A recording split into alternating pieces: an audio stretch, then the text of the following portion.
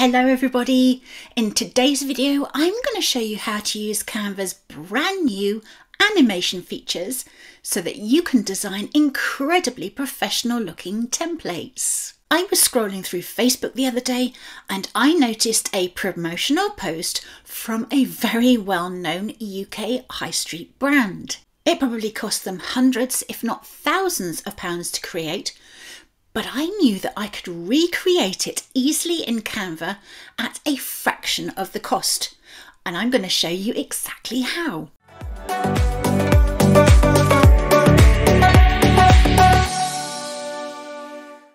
Welcome and welcome back to my channel. My name is Nicky Pasquier and I help small business owners and entrepreneurs successfully market their brands online using the exact same strategies that I use. So if this is something you want to learn, you might consider subscribing to my channel and clicking that little bell notification so that you don't miss a single video. So this is the animated post I created in Canva. Just one word of warning, I don't recommend that you copy any content because it might land you in a lot of trouble. But I wanted to use this as an example to show you just what you can achieve in Canva. Some animation features are free to use and others are for Canva Pro account holders only, but if you stick around, I will give you the chance to upgrade to Canva Pro for free for 45 days rather than the standard 30 day period. Okay, so if you're ready to start learning, follow me over to Canva. So from your Canva homepage, select the template that you want to work with. You can use whatever template you want, so you can choose an Instagram post, a video, a presentation, a Facebook post even, but for the purpose of this video tutorial, I'm going to use the example that I showed you earlier. So I'm just going to click on this one to open it up. Okay, and you can see from the thumbnails underneath that I've got multiple pages. I've got four pages underneath. And I have to say that these new animations really do work best when you do work with multiple pages. And I'll show you why in just a minute. So let me just reduce this so that we have a nice clean space to work on. Okay, so there are three different ways that you can use animations in a Canva template. First of all, you can animate the entire page. And to do that, what I normally do is select the background, then you go up to the Canva toolbar and select the animate button.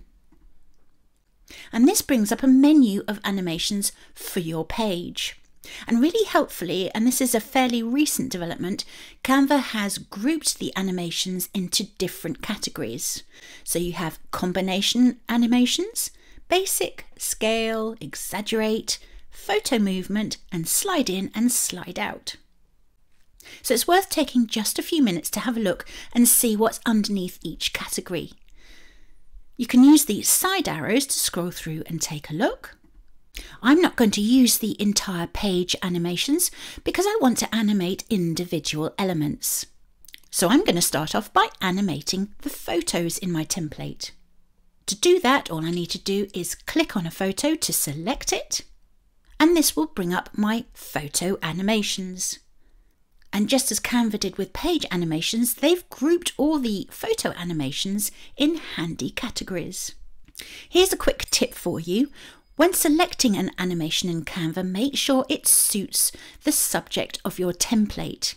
So this particular template I'm working in is very clean and elegant, so I don't think any of the animations in the exaggerate category is going to be suitable for this particular template. Instead, I'm going to have a look at the animations under the basic and the scale categories. One of my favourite photo animations is the breathe animation, so I'm just going to click on it once to see what it does. Once you've clicked on the animation, you'll see underneath that you can customize the animation even further.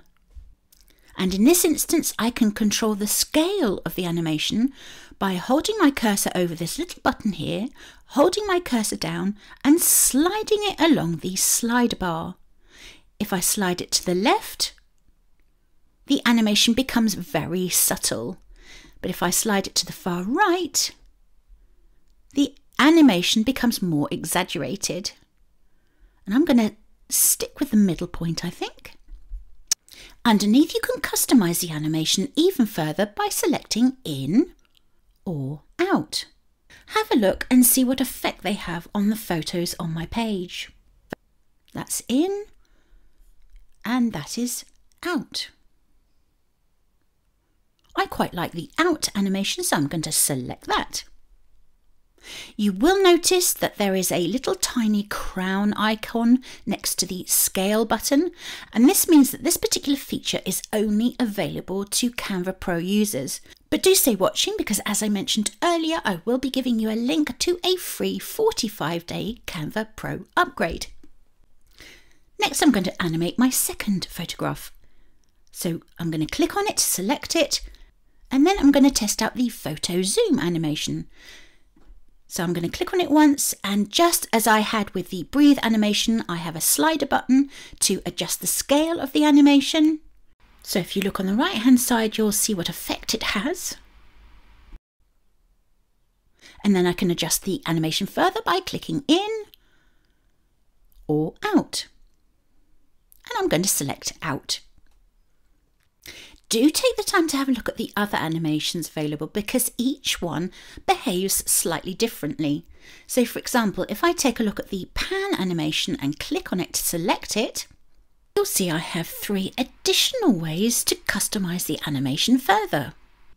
The first option will allow me to select when I want the animation to appear on my page. And if you're familiar with PowerPoint, you will know exactly what this means. So you can build an animation in as the page appears or out as the page transitions to the next one. Underneath I have a slider bar to help me adjust the speed of the animation. So if I move it to the left hand side that slows the animation down, but if I move it to the far right hand side that will speed up the animation. This feature is for pro users only. I can also adjust the direction in which the animation will appear.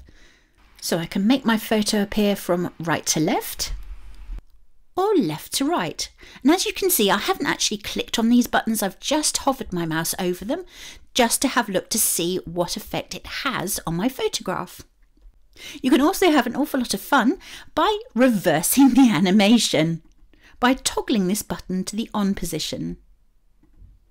Right, so that's photo animations. Now I'm going to show you how to animate the text.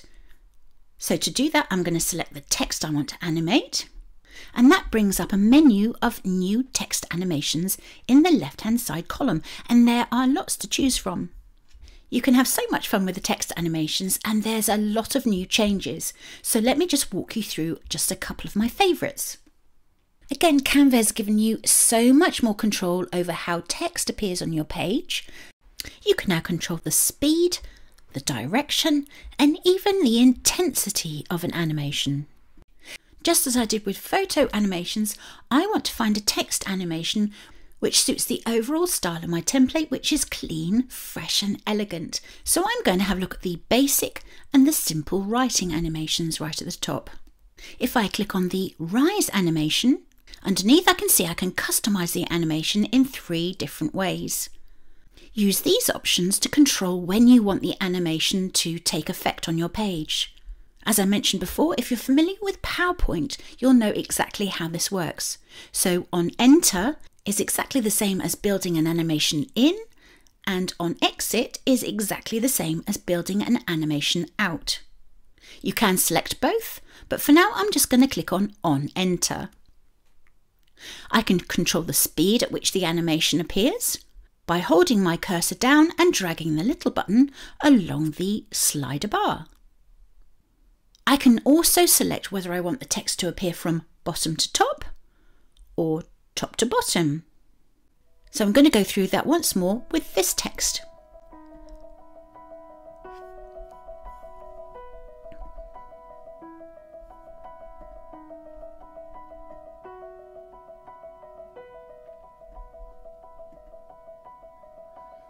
Fabulous. And that's all I want to animate. I'm going to stop talking now and let you just sit back and watch what I do with the rest of this template because as I mentioned before, all the animations behave slightly differently.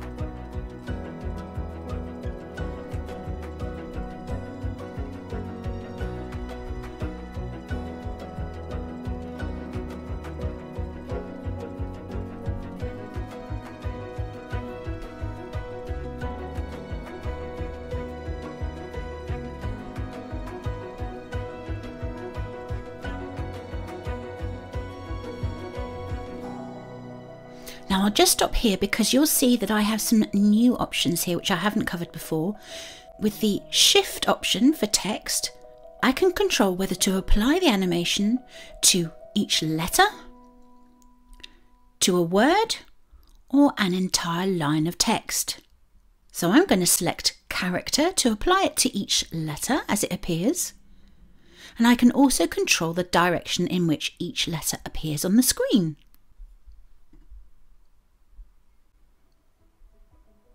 Now the final slide I want to add a little bit more emphasis because it should contain a call to action. So I'm going to try out some of the text animations under the exaggerate category.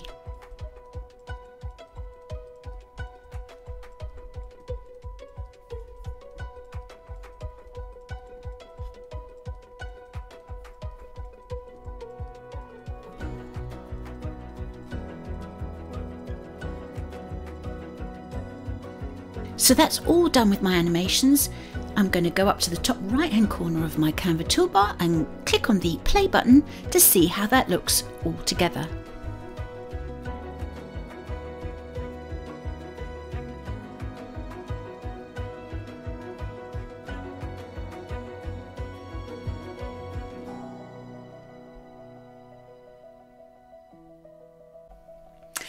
I mentioned at the start of this video that I would give you a free upgrade to Canva Pro. So all you need to do to benefit from a 45 day trial period is type this URL into your browsers. I'll also leave the link to that in the description box underneath this video. If you're a YouTuber, you might want to learn how to create an animated subscribe button in Canva. If so, I will leave the link to that right here in the end screen, which is coming up in just a few seconds. Alternatively, you can binge watch my entire playlist of Canva tutorials. I will leave the link to that right here. Thank you so much for watching and I will see you next time.